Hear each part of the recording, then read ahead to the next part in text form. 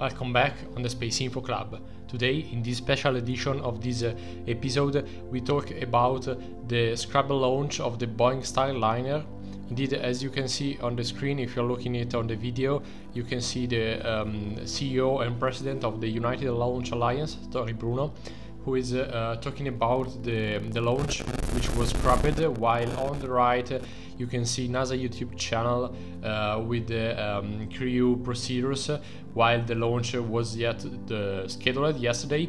Um, but so we go dire directly to the point. If you appreciate this kind of news uh, content, about the podcast or the YouTube video, please subscribe uh, to the YouTube channel or the Spotify channel and uh, leave a review or a like or let us know that you are appreciating this kind of content so we can just commit more and give you more content of this, of this kind. So, uh, which was the problem? Let's uh, go straight to the point. Um, the problem was a venting valve inside uh, the fuel tank of the rocket. So, Boeing Starliner uh, spacecraft didn't experience any problem and um, everything was nominal uh, until uh, the, the scrubbing of the of the launch itself uh, on the side of the of the capsule. I'm recalling that it, uh, it should have been a, a manned uh, crew flight, so uh, the, two people, Sunita Williams among the, the two, was part of the crew, and the launch was scheduled to to depart from Cape Canaveral and to dock to the International Space Station for a week. Um, a mission uh, uh, that should have lasted around a week on board and then uh, the two astronauts should have landed again safely on Earth uh, with the same capsule, the Boeing Starliner. So uh, the problem with the venting valve uh, inside the rocket was due to the, the, root cause is not yet clear, but we know that during the the final phases of the of the preparation of the launch some mechanical problem uh, of the valve caused it to cycle between the open and closed position and therefore um, uh, it, it, was not clear the, the root cause of, the, of that glitch. So uh, the complete the, the, the, fuel loading procedure couldn't, couldn't have been completed nominally as it was forecast. And uh, as Tory Bruno said uh, in the press conference if there was a satellite inside the, the fairing of the rocket, they probably should have, uh, they would probably actuate uh, some kind of procedure. For example, but this is just an example, they could have uh, uh unloaded some propellant uh, in order to retest the proper functioning of the valve itself. But clearly, you cannot do this use this procedure if you have people on board, for example, because uh, some uh, fuel leakage, some uh, gases can be released into atmosphere, and when you have people around that uh, uh, that condition, uh, for sure, safety procedures are much more strict and so you cannot actuate kind of that kind of procedure. So um, all, all, we know now uh, is that the valve was not instrumented, so accelerometers and sensor are not mounted on board that valve. So we don't have direct data, for example, vibrational data, uh, open close sta uh, statuses of the valve itself, but uh, we can uh, uh, some uh, kind of infer this data from the surrounding accelerometers and sensor. So the investigation are still ongoing up to the uh, re- reattempt of the launch itself. So, what's uh, the key message of this uh, Scrabble, Scrabble launch? The key message is that safety is, is yet is again first, particularly when you have people on board. Again, if there was a satellite, probably they would have reattempted the launch, but this was not the case. So, safety first.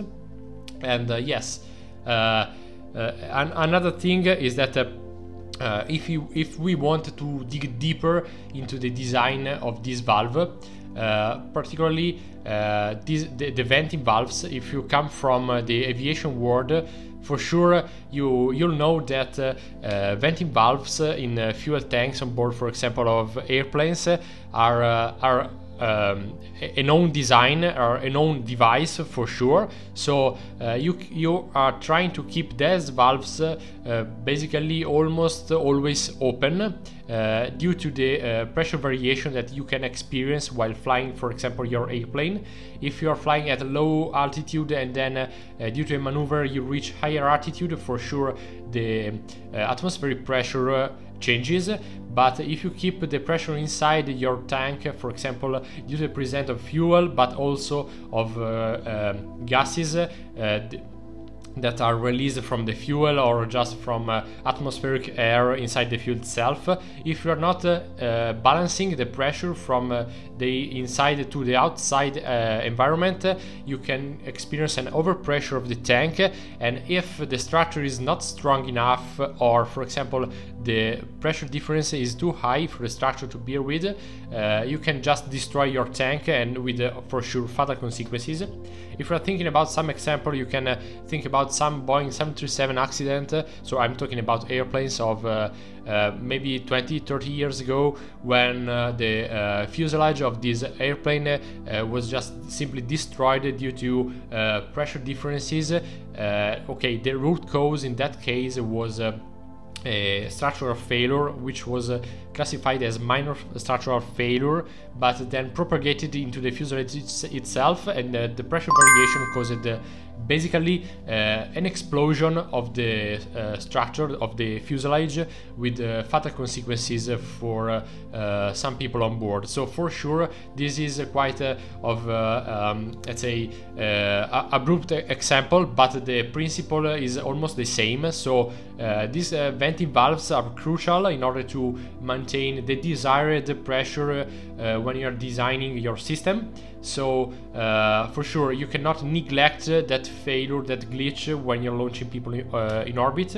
And uh, so basically, this is uh, the, the cause of the launch which was scrubbed. So again, if you're appreciating this kind of content, please uh, consider subscribing to the YouTube channel and also to the Spotify uh, channel of Space Info. This motivates us a lot to keep going with this kind of content and uh, supplying you this kind of news in a in a very strict matter of time. So that's uh, that's basically all for today. If you wanted to know more about the, uh, the glitch, we can add always uh, uh thanks to the words of uh, Tory Bruno that uh, uh, they are they experienced this kind of glitch uh, and the valve was cycling between the open and closed condition uh, a lot of times uh, in a very uh, reduced time span. So it was almost but it is not yet clear we me for sure i don't have data to sustain this hypothesis.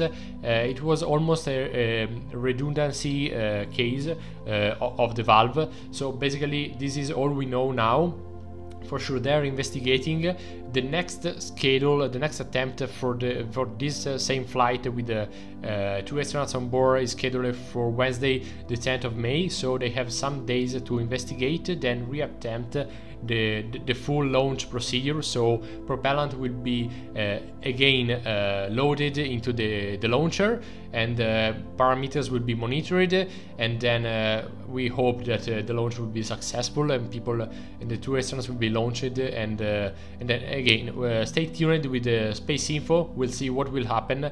Thank you for listening. Thank you for being with us. Have a nice evening